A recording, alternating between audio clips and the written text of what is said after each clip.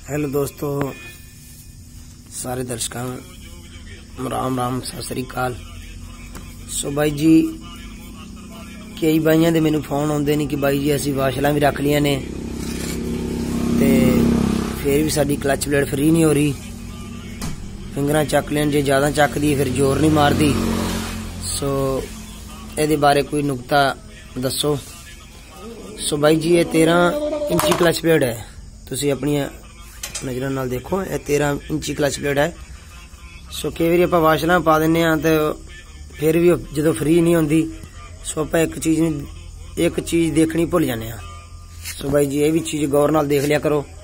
ਜਦੋਂ ਆਪਾਂ clutch plate ਪਾਉਨੇ ਆ ਇੱਕ ਦੇ ਉਹਦੇ ਵਿੱਚ ਜਿਵੇਂ ਸਪਲਾਈਨਾਂ ਤੁਹਾਨੂੰ ਸਾਹਮਣੇ ਦੇਖ ਰਹੇ ਨੇ, ਸਪਲਾਈਨਾਂ ਦੇ ਵਿੱਚ ਬਿਲਕੁਲ ਹੀ ਐਵੇਂ ਜਾਣੀ ਚਾਹੀਦੀ ਛਾਵਟ, ਐਵੇਂ ਪਿਆਰ ਨਾਲ।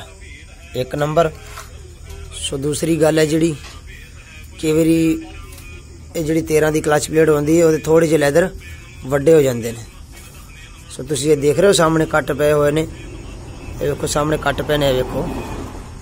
ਇਹ ਚੌੜੀ ਹੋ ਕੇ ਉਹਦੇ ਨਾਲ ਵਿੱਚ ਚੜਨ ਲੱਗ ਪੈਂਦੀ ਉਹਦੇ ਸਾਈਡਾਂ ਦੇ ਵਿੱਚ, ਜਿੱਥੇ ਆਪਾਂ ਵਾਸ਼ਲਾਂ ਪਾਈਆਂ ਹੋਈਆਂ ਨੇ। ਕਈ ਵਾਰੀ ਵਾਸ਼ਲਾਂ ਚੜਨ ਲੱਗ ਪੈਂਦੀ ਤੇ ਕਈ ਵਾਰੀ ਉਹਦੇ ਵਿੱਚ, ਉਹਦੇ ਪ੍ਰੈਸ਼ਰ ਪਲੇਟ ਦੇ ਵਿੱਚ ਚੜਨ ਲੱਗ ਪੈਂਦੀਆਂ ਨੇ। ਤਾਂ ਫਿਰ ਬਾਈ ਜੀ, ਇਹਦਾ ਇੱਕ ਹੋਰ ਜਿਹੜਾ ਸਿਸਟਮ ਜਿਵੇਂ ਮਤਲਬ ਦਾ ਤੁਹਾਨੂੰ ਦੱਸ ਰਿਹਾ ਮੈਂ ਫਿਰ ਇੱਕ ਟਾਇਰ ਨੂੰ ਜੈਕ ਲਾ ਲਓ।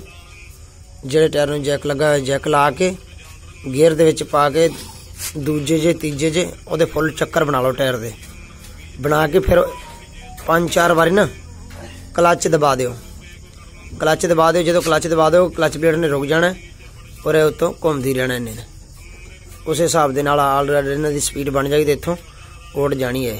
ਐਵੇਂ ਇੱਥੋਂ ਉੱਡ ਜਾਣੀ ਹੈ ਔਰ ਫਿਰ ਫ੍ਰੀ ਹੋਣ ਲੱਗ ਪੈਗੀ। ਸੋ ਮੇਰੀ ਇਹੋ ਜੀ ਨੁਕਤੇ ਵਾਲੀ ਵੀਡੀਓ ਦੇਖਣ ਵਾਸਤੇ ਮੇਰਾ ਚੈਨਲ ਸਾਰੇ ਬਾਈ ਸਬਸਕ੍ਰਾਈਬ ਕਰੋ ਲਾਈਕ ਜਰੂਰ ਕਰ ਦਿਆ ਕਰੋ।